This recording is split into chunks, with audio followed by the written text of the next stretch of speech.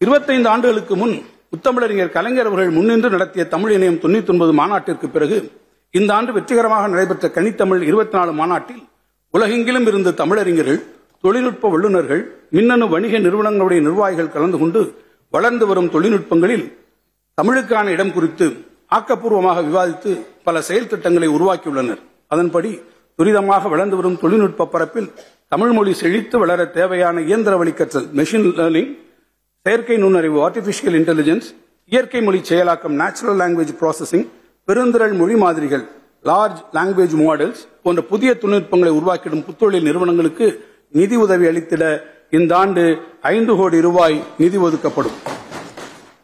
தமிழ் இணைய கல்விக் கழகம் உருவாக்கியுள்ள தமிழ் மின்னூலகம் தெற்காசியாவிலேயே மிகப்பெரிய மின்னூலகமாக திகழ்ந்து வருகிறது.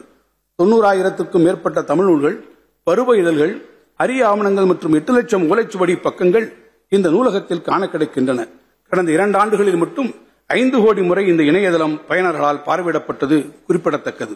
தமிழ் மொழியின் வளம் தமிழரின் தொன்மை குறித்து எதிர்கால தலைமுறையினருக்கும் கொண்டு சேர்த்திடும் வகையில் தமிழ்நாடெங்கும் உள்ள அரிய நூல்கள் மற்றும் ஆவணங்களை மின்பதிப்பாக மாற்றும் முயற்சிக்கு இந்த ஆண்டு இரண்டு கோடி ரூபாய் நிதி ஒதுக்கப்படும்.